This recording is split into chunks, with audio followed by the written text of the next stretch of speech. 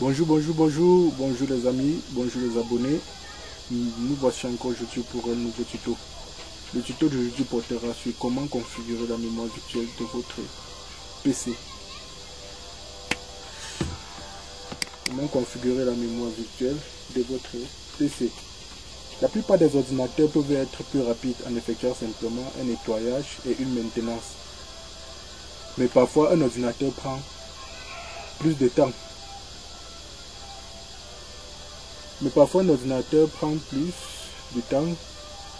Mais parfois accélérer un ordinateur prend plus de temps que la suppression des fichiers indésirables, la déformation du disque en cours d'exécution et la désactivation des éléments de démarrage inutiles.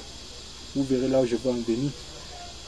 D'où nous chutons directement sur notre sujet, configurer la mémoire virtuelle de votre PC. Configurer la mémoire virtuelle de votre PC.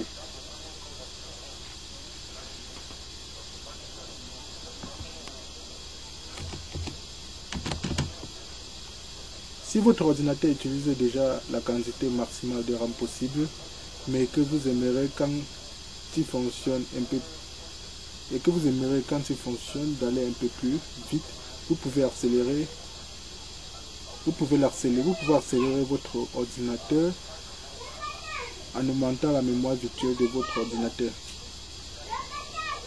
La mémoire virtuelle de votre ordinateur. Dans ce tuto, je vais donc vous montrer comment augmenter la mémoire virtuelle de votre ordinateur.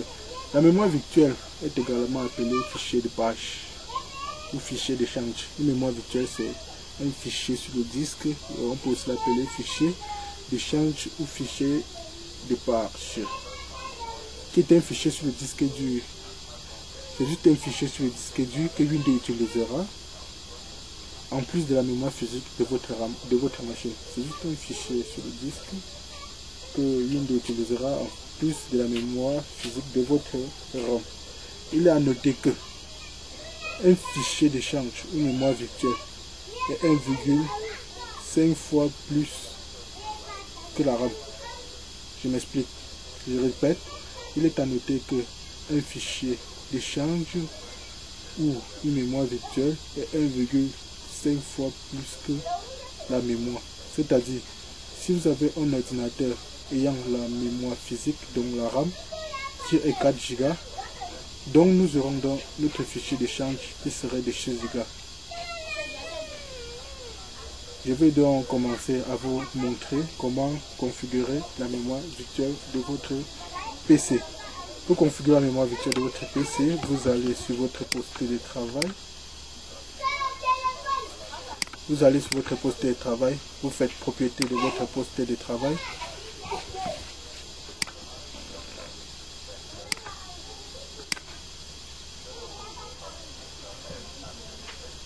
Vous propriété de votre poste de travail, vous partez sur paramètres du système avancé. Paramètres du système, dans paramètres du système avancé, vous verrez là, démarrage et récupération, profil des utilisateurs, performance, effet visuel, planification du processeur, utilisation de la mémoire et mémoire virtuelle. C'est ce point qui nous intéresse, là où vous voyez la performance. Si nous augmentons la mémoire virtuelle de notre PC, c'est pour la rendre performance, c'est-à-dire plus rapide. Je vais donc cliquer sur paramètres là, comme vous voyez là, vous verrez effet visuel. Bon, la performance d'un PC peut être liée aux effets visuels. Ça veut dire quoi? En fonction de la, euh, des paramètres, donc ce que vous verrez, bon, ça ne fait pas l'objet de notre tutoriel. On pourra en faire un tuto prochainement. Bon, pour nous, il s'agissait de configurer la mémoire virtuelle. Vous verrez là quoi? Performance des applications. Choisis comment allouer les ressources du processeur. Bon, c'est encore notre sujet. C'est encore notre sujet. Ce qui nous intéresse, c'est le deuxième panel. Là vous verrez mémoire virtuelle. Un fichier d'échange est une zone de disque Windows utilisée comme s'il s'agit d'une mémoire vive RAM.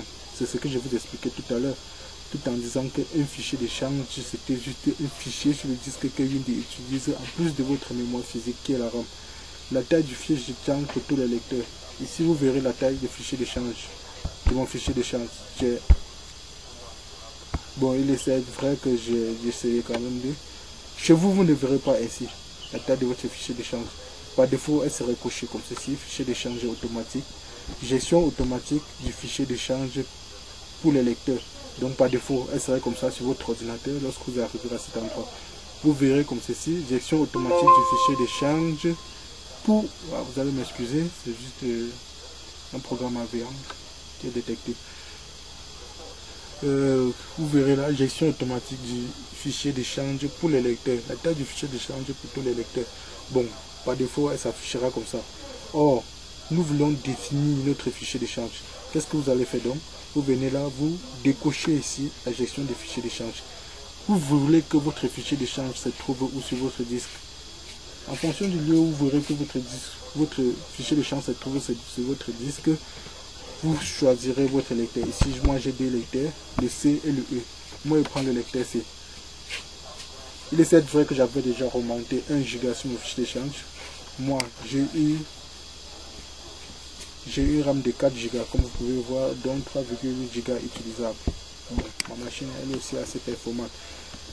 Et pour personnaliser votre mémoire virtuelle, vous verrez là, vous cliquez sur le disque. Vous verrez là, taille personnalisée, taille initiale en mégaoctet, taille maximale en mégaoctet.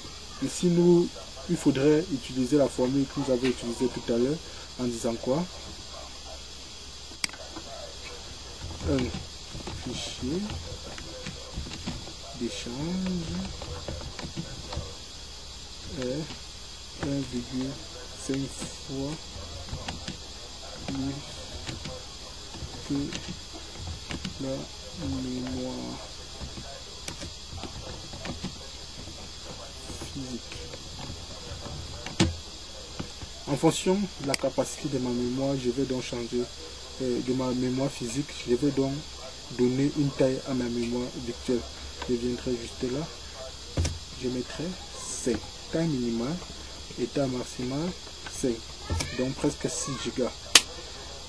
Étant défini là, vous pourrez là cliquez sur définir. Vous verrez que l'appareil juste là. Étant à ce point, verrez là le tas du fichier d'échange pour le lecteur. Mémoire minimale autorisée 16 mégaoctets. Mémoire recommandée, ah, c'est la mémoire physique par défaut. La mémoire à l'heure actuellement. Puisque ça c'est la mémoire à l'heure actuellement, je vais donc, et comme j'ai redéfini les nouvelles tailles de 500 Go, quand je cliquerai sur OK, elle devrait se mettre à jour. OK. OK. OK. Vous, pouvez vérifier là. Vous pouvez encore vérifier là. là. Vous, voyez, que la taille du fichier d'échange pour tous les lecteurs a changé. Merci les amis d'avoir suivi le tuto jusqu'à la fin. Je ne cesserai de vous dire merci. Surtout, n'hésitez pas à vous abonner sur ma chaîne YouTube pour recevoir des prochains tutoriels. Vous cliquerez là juste sur le lien pour vous abonner. Encore, merci d'avoir suivi le tuto jusqu'à la fin. À nous revoir prochainement.